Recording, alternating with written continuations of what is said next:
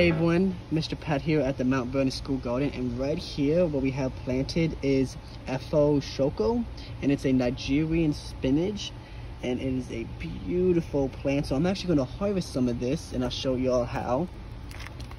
So got my shears right here and I'm just going to cut above one of these leaves up here so continue growing and getting bushy. So I'm going to go like that there we have some really nice Nigerian spinach.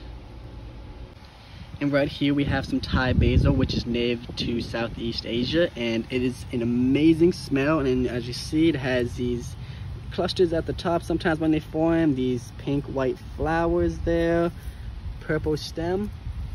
But uh, they describe this uh, flavor as like anise or like a licorice-like and a little spicy, but I've had this in fried rice before and it tastes amazing.